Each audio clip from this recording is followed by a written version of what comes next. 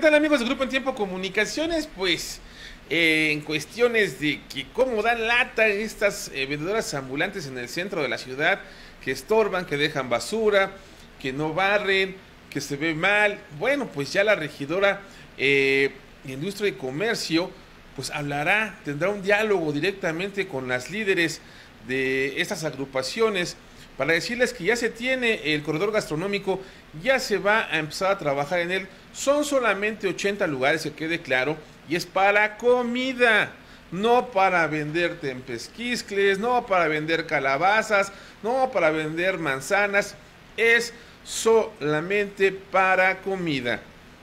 En este caso sería que van a hablar con ellas, son 80 personas y las demás personas tendrían que salir del primero y segundo cuadro de la ciudad.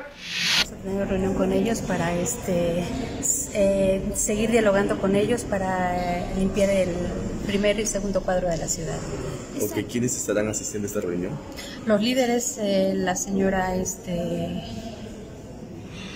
Clara, la señora Elvira, la señora Guadalupe, o sea, todas las líderes que, este, que están con las comerciantes. Eh, estamos en diálogo con ellas para seguir este, pues convocándoles y dialogándoles con ellas para que no se instalen en el primer cuadro de la ciudad, que es que ya no deben de estar ahí. Así es, pero es, esta reunión que vamos a tener es este, precisamente para llegar a algún acuerdo, ya definitivamente, eh, tanto con presidencia, con regiduría y con ellas, para este, darle solución ya. Principalmente las líderes, que son las que, las que ellas este, mueven a, toda su, a todo su gremio. Entonces, este, con ellas son las pláticas que van a hacer. ¿Cuántas? ¿Tres nada más? O? No, son.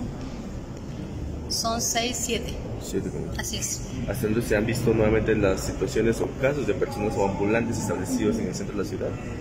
Eh, precisamente para eso es, para que se, se desalojen eh, ya hemos comentado una y varias veces que tolerancia. Ya escuchó cero tolerancia después de la plática con ellas. Se está dando ese plazo que habían pedido, ese lugar que habían pedido ellas para que se generara el comercio de la venta de comida típica de Tehuacán. Se les va a dar, pero ojo, comida, no estar vendiendo lo mismo que se vende en el mercado 16 de marzo. Para En Tiempo Comunicaciones, Rodrigo Bustillo.